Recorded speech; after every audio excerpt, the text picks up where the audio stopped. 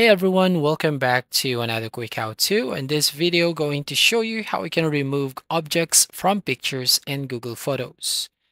So first up here, open up your Google Photos app and then select the image that you want to use. So in my case, I'm going to use this and then tap on the edit icon right here at the bottom. And from here, as you can see, you'll need to swipe to left and find that tools section.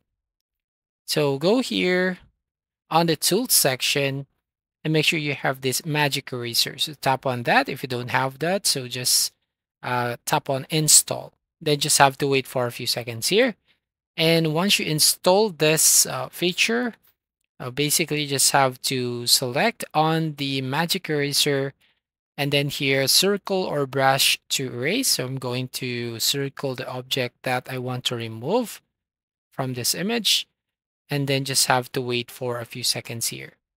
So basically it is now erasing that object and should have to wait for a few seconds.